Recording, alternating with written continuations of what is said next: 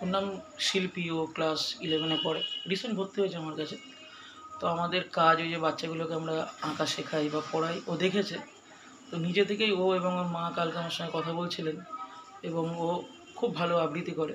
আজ এই পঁচিশে বৈশাখের দিন বলার মতো দিন যে ও নিজে থেকে ওই বাচ্চাগুলোকে আবৃত্তি শেখাতে চাইছিল।